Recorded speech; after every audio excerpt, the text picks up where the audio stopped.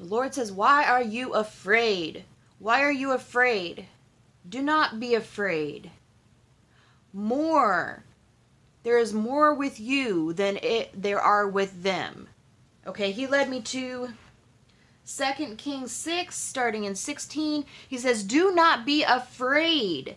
The prophet answered, Those who are with us are more than are with them. And Elisha prayed, O Lord, open his eyes so he may see. Then the Lord opened the servant's eyes, and he looked, and he saw a hill full of horses and chariots of fire all around Elisha. Whatever is coming up against you right now, there is more on your side than on their side.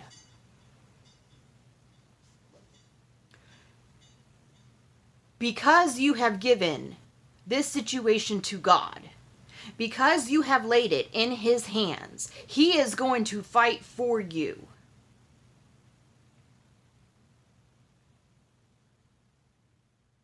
He says, Remember, remember who is with you. It is not you against them. It is you and Jesus and an angelic army against them. And does Jesus ever lose?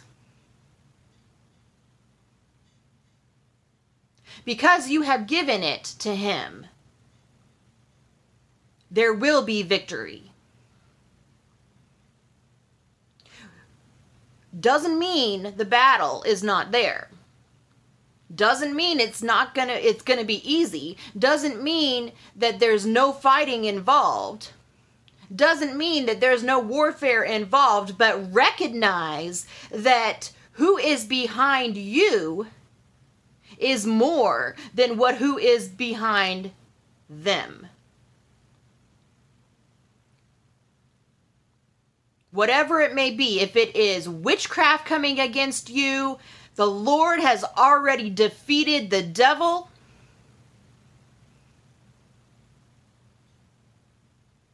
If if it is um, a, a spirit of fear, rebuke it, cast it out. That spirit of fear does not belong there. It says, Do not be afraid. Recognize who is with you. Recognize who is with you. You know, when we take it into our own hands, that's when there's risk involved because um, we we on our own cannot defeat okay?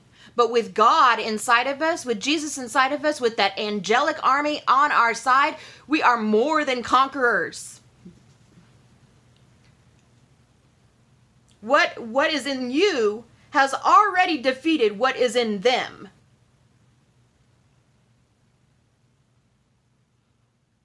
The Lord has already defeated it. Recognize who is with you. Do not let that fear and worry and anxiety build up and make you disabled in the spirit. You are not disabled. You are not disabled. You are not disabled in Jesus' name. You are not disabled. Ooh, I feel that strongly.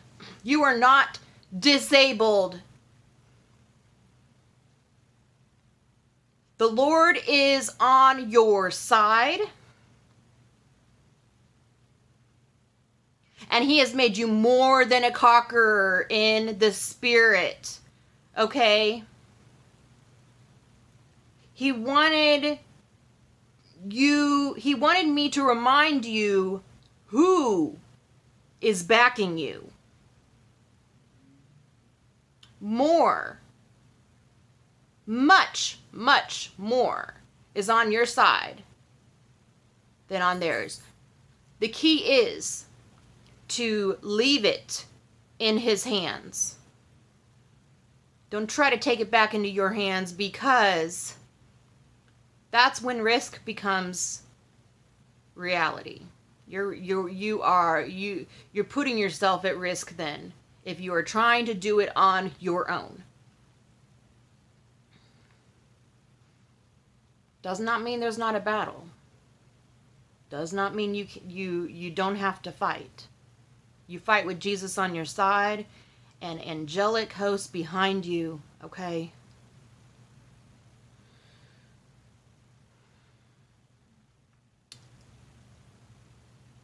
I believe that's it.